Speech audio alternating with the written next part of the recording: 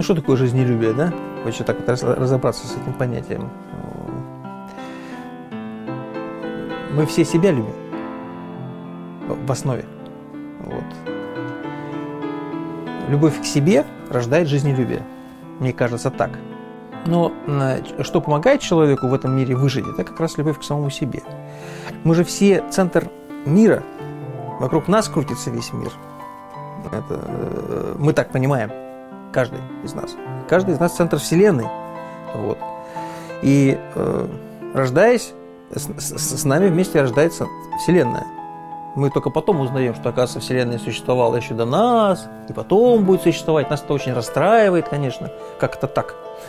И вот, конечно, э, вот если опять возвращаемся к воспитанию, да, если ребенка любили в детстве, если родители дали ему вот это вот ощущение, что да, я центр Вселенной, то он тогда, наверное, тоже э, рад жизни, счастлив, и у него жизнелюбие есть. Он каждый сам себе вот как раз этот рецепты выдумывает. А если человек сам может себе выдумать рецепты жизнелюбия, то он счастливый человек.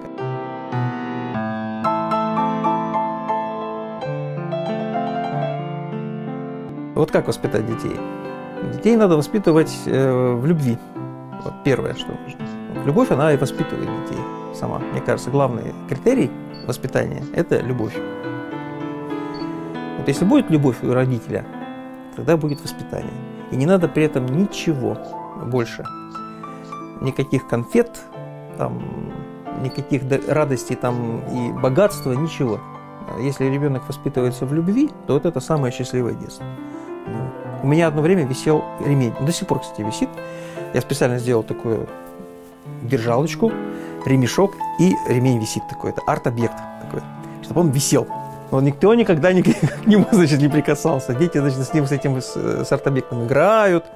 Все, то есть он, ну, даже не воспринимает его как угрозу. Ну, это, это как-то уже определенный юмор такой, что вот, плеточка там где-то, да, висит. Ну, так, наверное, воспитание идет. Вот таки, такими шажками маленькими. Сам себя воспитываешь, и их воспитываешь. Просто такой процесс. Естественный.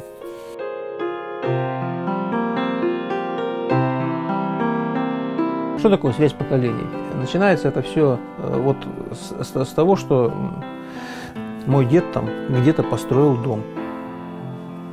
Да? А я потом в этом доме живу.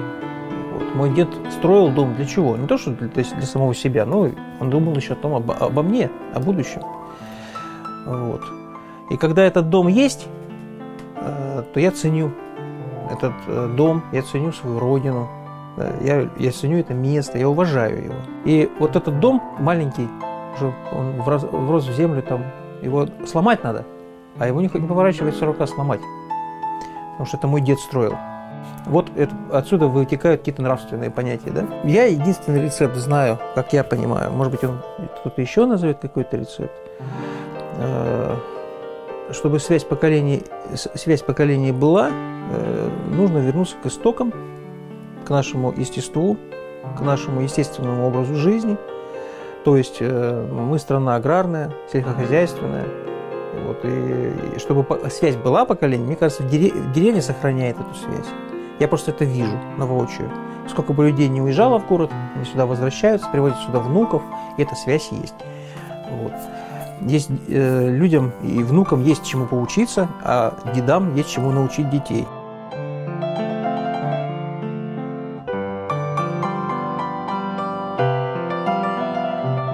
А нельзя быть свободным, мне кажется. Э, вот если бы мне жизнь поставила большого пинка под зад, сказала «свободен», я бы полетел такой вверх тормашками, лишившись всего. Семьи, детей, там, всех своих этих, как скажем, жизненных достижений, да, вот тогда я был бы свободен, наверное, так сказать. Брюкнулся бы в снег, вот в одних трусах, а может быть даже и без. О, свобода! Делай, что все хочешь этой свободой, пожалуйста. А если ты начинаешь... Э, а если ты живешь, ты все равно не свободен. Ты, ты, ты завязан массами, ниточками э, каких-то связей, контактов, ответственностей, обязанностей э, с этой жизнью, да? Поэтому, наверное, да, как бы сказать, э, я человек свободный, вот, э, я, я свободно взял на себя тот груз, который я тащу по жизни, вот, и тащу. Вот. э, Но я свободен при этом. Этот груз сбросить, если я захочу. Но я не хочу.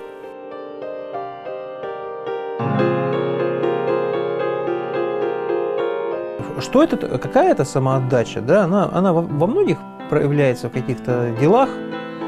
Э, Это, это, это и домашние дела, семейные, хозяйственные дела, и на работе. И встаешь с мыслями о творчестве или о чем-то там, или, и ложишься с этими мыслями. И ра- радостно просыпаешься с радостью, э, что тебя сегодня новый день ждет интересный. Вот, а вечером ты с радостью засыпаешь, зная, что ты полностью выработался, все, что мог, сделал. Ну, вот это для меня самоотдача. Понятия честности и самоотдачи, они рука об руку идут. Э, Человек должен э, быть искренним, честным, и тогда у него и самоотдача будет максимальная, так скажем.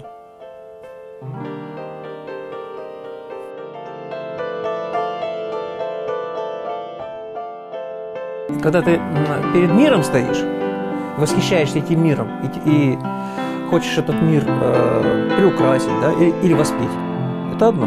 А когда ты хочешь этот мир переделать, переустроить, весь перекроить, э, сделать, создать свой мир, э, вот, наверное, вот это вот что-то тут от сатаны, наверное, что-то есть. И когда у нас постоянно что-то пытаются перестраивать, переделывать, ничего не получается.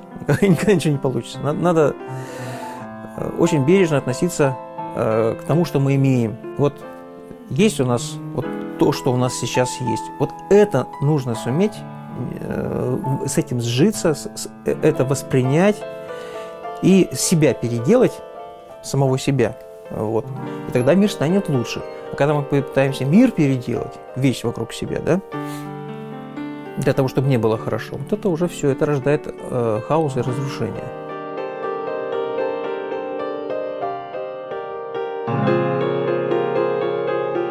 Это тоже, кстати, очень близкие понятия.